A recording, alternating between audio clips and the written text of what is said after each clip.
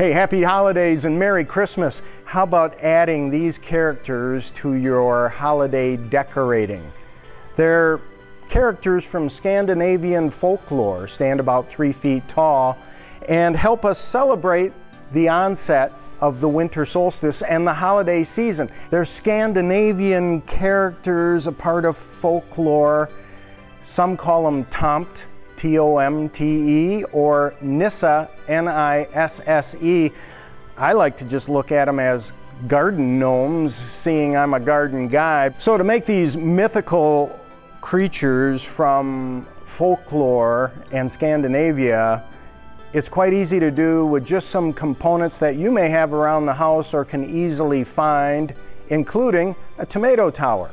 They stand about three foot tall, and so a tomato tower is ideal for creating the foundation or the structure that we're going to use to make these characters. Get yourself a little bit of chicken wire, and you can see how I've wrapped that chicken wire right around this tomato tower. Then the next step that we're going to take is start to work the evergreen branches into that chicken wire. There's a variety of evergreen branches that you can use from pine to juniper to spruce. This one that I'm starting right here, I'm using spruce, but there's some white pine and juniper in this character and some uh, Austrian pine that I use to create this guy. Now, one of the fun aspects of it is you can go to a secondhand store or a thrift store and find all kinds of hats for these characters too at this time of the year.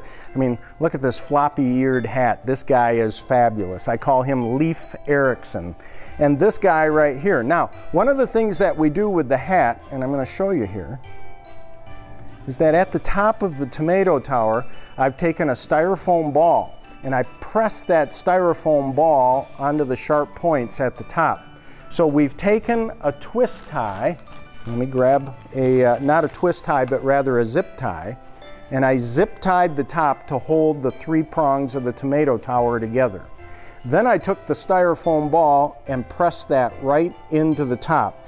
Now what that's going to do is on a windy day, it's going to give us a basis for this hat that we're going to draw over top.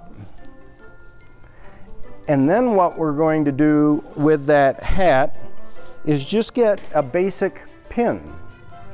And that styrofoam ball is going to hold that hat in place and we're just essentially going to pin that hat so it doesn't blow away on a windy day.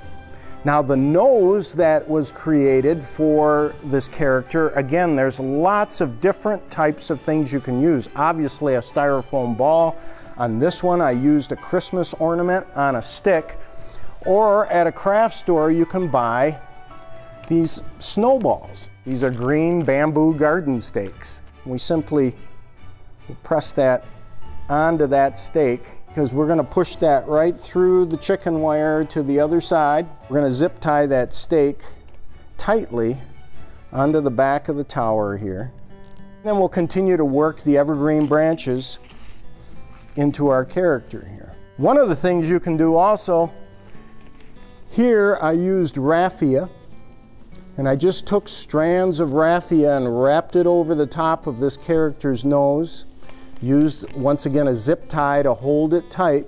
And we put the raffia on there to create a beard for this guy. I think he needs a nice, uh, nice hairy beard, whereas this character, you can buy this fur in a craft store. And I press that up underneath the nose, push the zip tie through, tie it tight, clip off the excess, and you don't even see it. We're going to name him Spruce Springsteen. That one will be a hit in the neighborhood. This guy, I think, needs some mittens. So a simple tomato tower, wrap it in chicken wire, get yourself some evergreen boughs, a colorful hat, and you're well on your way to creating this mythical, fun, festive Scandinavian character. Ho, ho, ho, and happy holidays, Merry Christmas from all your friends at Flowerland.